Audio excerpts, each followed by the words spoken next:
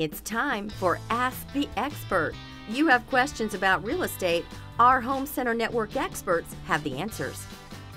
Is it a good idea to work with more than one realtor? Absolutely not.